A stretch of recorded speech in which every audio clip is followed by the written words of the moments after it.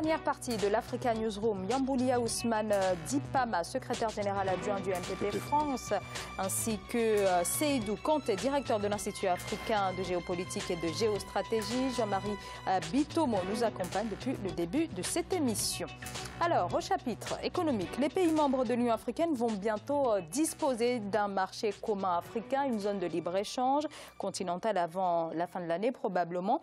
Et selon l'Union africaine, ce libre-échange pourrait permettre au continent d'engranger chaque année euh, près de 35 milliards de dollars. Siamlo Victoria Sedji nous, nous en dit plus.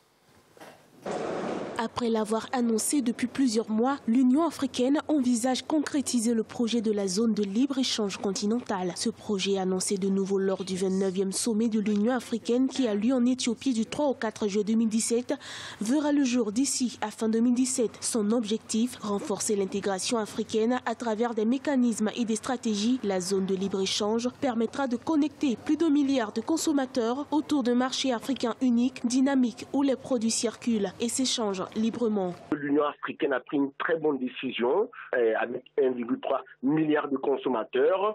Euh, c'est une zone qui va forcément impacter euh, le monde. L'Afrique Aujourd'hui, c'est la zone où l'extrême pauvreté demeure la plus élevée au monde, avec 350 millions de personnes vivant avec moins de 2 euros par jour. Donc on, est vraiment dans un challenge majeur où on sortira effectivement du paradoxe d'une Afrique qui regorge de, nos matières premières et dont les populations sont les plus pauvres. Jusqu'à ce jour, l'Afrique reste encore confrontée à de grands défis, notamment la transformation de ses nombreuses ressources et son industrialisation. Ces défis font du continent le plus grand importateur de produits. De ce fait, il subit fréquemment la détérioration des termes de l'échange qui menace la majorité des pays qui produisent sans transformer. Les importations frauduleuses représentent jusqu'à 60% du marché, appelant ainsi les autorités à développer leurs infrastructures. À la clé, il va falloir effectivement améliorer la, gouvernance en Afrique, euh, sera de, créer un climat d'affaires euh, et des institutions assez adéquats qui répondent aux normes internationales, sera de développer effectivement les infrastructures, euh, de résorber la fracture numérique, de booster la, téléphonie et puis de voir l'éducation. sans éducation, on ne peut pas aboutir à, à une croissance africaine assez notable. Le marché africain connaît une croissance annuelle de 30%. L'Union africaine estime que l'effectivité de ce libre-échange permettra d'ici à l'horizon 2021 de doubler la part du commerce interafricain de 12 à 28 pour un gain annuel de 35 milliards de dollars. Euh, Jean-Marie, le commerce euh, intra-africain représente euh, ne représente que 10% des, échanges réalisés sur le continent. Cette zone de, libre-échange peut-elle permettre de doper ce commerce euh, inter, euh, L'instauration de la zone Zara, elle est impérative et nécessaire. Tout simplement pourquoi? Parce que l'Afrique, nous avons des potentialités de développement énormes dans le commerce intra-africain. Quand vous regardez aujourd'hui, on va vous dire que l'Afrique pèse quoi dans les échanges internationaux? Commençons d'abord par nos échanges à nous. C'est pour ça que j'ai décrit toujours sur ce plateau les indicateurs internationaux qui nous sont affichés on va nous dire que oui, vous voyez le développement de l'Afrique, ça représente tel ou tel. Moi, ce qui m'interroge souvent, je me dis, regardons l'IDH, c'est ça qui m'intéresse. L'indice de développement humain pointe à la ligne.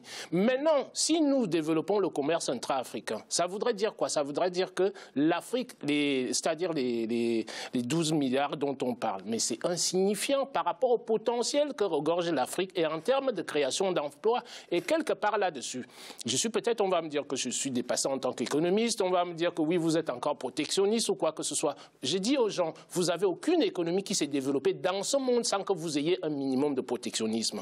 Donc, qu'est-ce qui se passe en Afrique? Les institutions internationales nous disent que oui, mais vous voyez, bon, vous avez, euh, comment dire, la mondialisation qui est là. Mais cette mondialisation-là, les Africains ne se sont, jamais posé la question. Notre invité parlait tout à l'heure là des APE. Cette mondialisation-là est-elle profitable aux Africains en tant que telle Point d'interrogation. Donc, si c'est la mondialisation est là pour pouvoir, comment dirais-je, ouvrir largement les portes de l'Afrique, qu'on vienne installer des industries qui vont concurrencer nos petites industries naissantes en Afrique, c'est-à-dire nous allons où? l'Afrique va cultiver, un, sa dépendance financière, deux, sa dépendance alimentaire vis-à-vis de l'extérieur. On nous parlait tout à l'heure là des balances commerciales. Je l'ai toujours dit sur ce plateau, quand on fait la comparaison entre, si vous voulez, les matières premières et le fait qu'en Afrique, qu'on puisse, c'est-à-dire avoir nos propres industries, par exemple avec l'agroalimentaire. Je prends toujours l'exemple suivant. Prenez la balance commerciale. Quand on prend la balance commerciale de tous les pays africains sans exception. Qu'est-ce qui se passe? Ce que nous, nous, récoltons comme recette d'importation pour les matières premières, c'est consacré à quoi? C'est consacré maintenant, si vous voulez, pour acheter des produits alimentaires à l'extérieur qui sont nos produits de première nécessité. Pourquoi l'Afrique ne commencerait pas, dans un premier temps, comment dirais-je, à cultiver son autosuffisance alimentaire en tant que telle. nous allons améliorer nos balances commerciales, nous améliorons nos balances de paiement parce que ça nous permettra maintenant d'exporter des produits semi-finis au moins, même si ce ne sont pas des produits une question, une question qui me paraît quand même euh, importante. Euh, certains pays sont, encore très dépendants hein, de, leur, de leurs recettes euh, douanières. Comment vont-ils faire avec euh, cette économie mondialisée? Mais oui, mais si vous développez à l'intérieur, l'économie mondialisée, ça voudrait dire quoi? C'est ce que j'ai toujours dit. De, mon point de vue, la mondialisation, c'est quoi? C'est-à-dire, c'est un casino. C'est un casino dans lequel, si vous voulez, les plus riches gagnent et les plus faibles perdent. Point à la ligne. Donc, à partir de là, il faudrait mettre les modalités en, place. Moi, je parle spécifiquement du continent africain. Les autres continents, à la limite, on peut regarder comment ça fonctionne.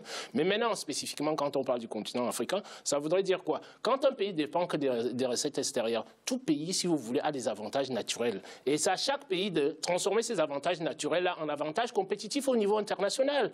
Que ce soit du tourisme, je vais vous prendre un exemple, Zara. Si vous prenez un pays, le Sénégal, pendant X temps, a vécu sur le tourisme, qui était très très bien quand Pierre et Vacances était, y était implanté. Pourtant, le Sénégal, ce n'est que ces dernières années qu'on euh, découvre la richesse, si vous voulez, des matières premières, le pétrole, le gaz et tout ce qui s'ensuit. Mais pendant un certain temps, le Sénégal a joué sur un de ses avantages naturels, qui était quoi? En jouant sur les, PPP dont on parlait là tout à l'heure, en ouvrant un peu les portes vis-à-vis du tourisme, et ça a beaucoup servi. Si je pars du Sénégal, je vais en Tunisie, c'est exactement la même chose. Tunisie a été étranglée dès l'instant que le tourisme s'est arrêté. Le Maroc a à peu près les mêmes très, choses. Très, très, très rapidement, est-ce qu'il n'y a pas une crainte de saturation des, marchés locaux quand même avec cette zone de, libre-échange?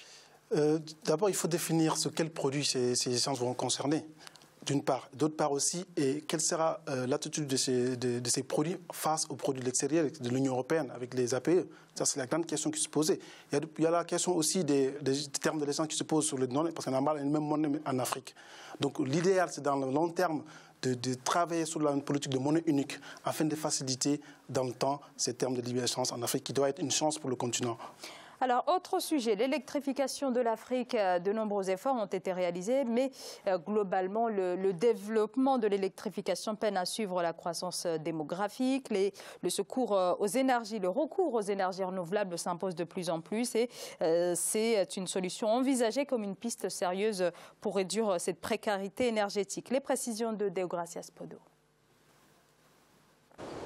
C'est la nouvelle alternative énergétique des pays d'Afrique de l'Est. Fort de leur potentiel géothermique, ils sont de plus en plus nombreux à opter pour cette nouvelle source d'énergie bénéficiant du soutien de plusieurs institutions, au rang desquelles l'Union africaine et la Banque africaine de développement, qui ont d'ailleurs réussi le pari de mobiliser environ 150 millions de dollars pour pouvoir développer la géothermie dans cette partie du continent. Selon le département des infrastructures et de l'énergie de la Commission de l'Union africaine, l'Afrique de l'Est possède un fort potentiel de production d'électricité géothermique de 20 000 MW, dont 500 MW déjà installés dans la région, majoritairement au Kenya.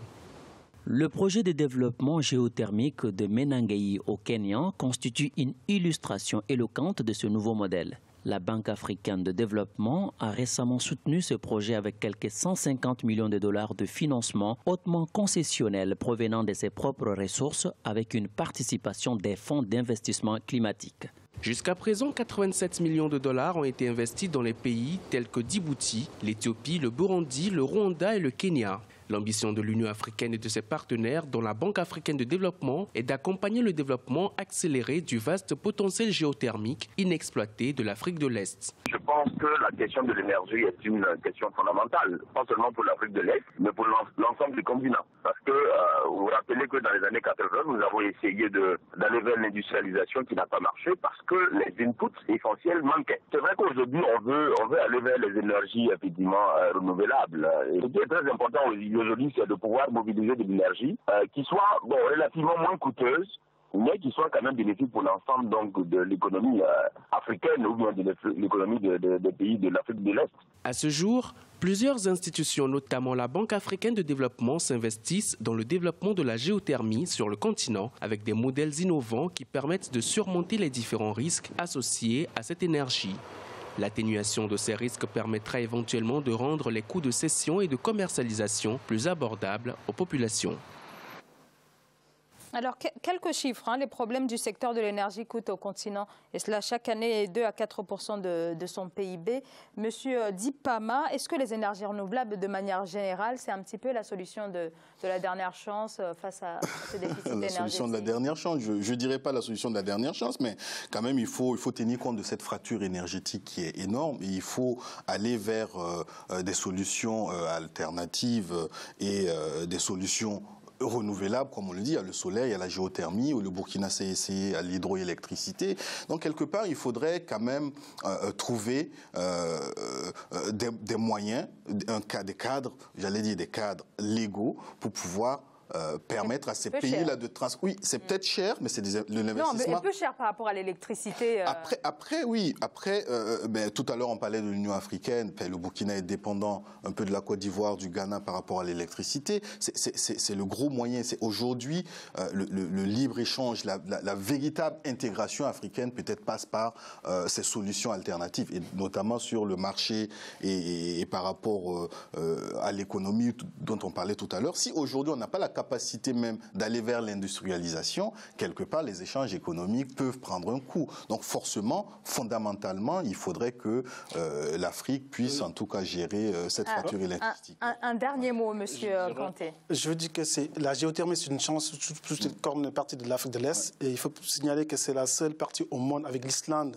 dont la géomorphologie permet de produire autant d'électricité. Donc 20 000 MW, on creuse à 1500 à 2000 mètres au sol, on a un peu extrait de l'énergie géothermique. Donc c'est une chance qu'il faut exploiter pour l'indépendance électrique de la France. Jean-Marie, en, deux secondes. Oui, en deux secondes, je veux tout simplement vous dire que la solution est là. Vous avez deux barrages. On fasse au barrage de l'Éthiopie et qu'on fasse celui de la RDC. Et l'Afrique a réglé tous ses problèmes d'énergie en tant que tel. Une note positive. C'est la fin de l'Africa Newsroom. Rendez-vous demain. que la BAD avec... nous entraîne sur des petits projets régionaux qu'on fasse développer le barrage de l'Éthiopie et le barrage de la RDC et toute l'Afrique à l'énergie. Alors, je vous le disais, rendez-vous demain avec un dossier entièrement consacré au Parlement panafricain, organe consultatif, hein, vous le savez, de, de l'Union africaine. Nous nous poserons la question de son utilité. Yamboulia Ousmane Dipama, secrétaire général adjoint du mouvement du peuple pour le progrès en France. Merci d'avoir été avec nous. C'est moi qui vous remercie. Seydou, euh, Seydou Kanté, directeur de l'Institut africain de géopolitique et de géostratégie. Merci pour votre expertise. C'est moi qui vous remercie. Et euh, Jean-Marie Bitomo, merci. Merci Zara, merci à nous téléspectateurs et téléspectatrices de nous avoir fait l'honneur de nous suivre. Alors, merci à vous, bien sûr, hein, euh, de nous avoir suivis. Rendez-vous très bientôt dans l'Africa Newsroom.